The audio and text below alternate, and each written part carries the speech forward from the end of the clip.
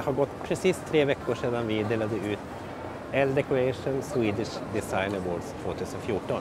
Och här mittemot mig har jag två av pristagarna, eh, Katarina Breditis och Katarina Evans som fick pris för Årets textil, Re-Rag Rug. 12 mattor på 12 månader. Hur kom projektet till och varför blev det så?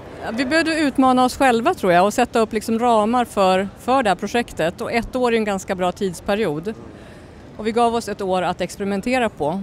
Så då sa vi det att ett år, 12 månader, 12 tekniker, 12 olika mattor. Och en ny matta för varje En ny gång. matta varje gång. Ingen teknik skulle återupprepas utan börja om från början varje månad. Er blogg Re-Rag Rag har ju fungerat som något slags kommunikationskanal. Berätta hur, hur det har funkat med återkoppling från de som har läst bloggen och Jag tror nog att eh, mest kan man säga att vi har informerat och eh, det, de få kommentarer vi får, det kommer ju en del ändå, det är ändå väldigt positivt och att folk vill eh, tala om att de blir inspirerade och att de tycker att det är Ja, att det är inspirerande framförallt även för dem som kanske håller på i liten skala hemma. Hela processen har ju varit lika viktig som det färdiga resultatet. Och det är väl det också som vi försöker visa genom att ha den här bloggen, att designprocessen är en, en lång väg att gå ofta. Och det är ofta man, jag tror att det, som konsument så vet man inte alltid om hur en designprocess kan se ut.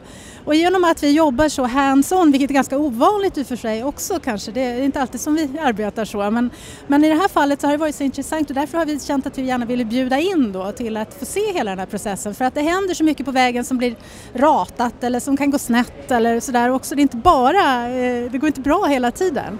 hur, hur tänker ni med designen? Är, är, är det väldigt... Känns det som... Menar, den här mattan tycker jag är helt fantastisk. Men, men tänker ni liksom i, i, i mode... Det går ju mode också i, i, i textil, alltså i mattor, textil och så.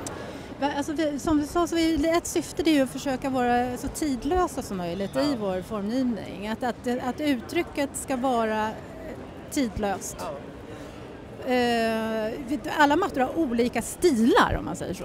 Och det är ganska roligt för vi hade en utställning på Färgfabriken i oktober där vi visade de här eh, mattorna för första gången, alla tolv olika. Alla tolv. Och det var ganska roligt för vi själva var på plats och pratade med besökarna och frågade ibland vilken, eh, vilken matta de tyckte bäst om. Och det fa- faktiskt var det så att alla mattor var favorit för någon. Och det säger ju också lite grann att det är roligt att ha en bredd då med olika, olika smak som, eh, alltså alla hittar sin smak liksom. Mattorna har ju väldigt mycket textilkänsla. Det är inte någon speciell mönsterbild vi liksom förmedlar utan det är liksom textil, liksom hela den här kärleken för textila tekniker och material. Jag tror att det är det som gör också att det blir tidlöst. Vad är det som inspirerar er? Teknikerna och textil, ja, och materialet jättemycket. Jag säger tack till Katarina och Katarina och eh, värdigare pristagare till L Decorations pris får vi leta efter tror jag. Tack så mycket. mycket.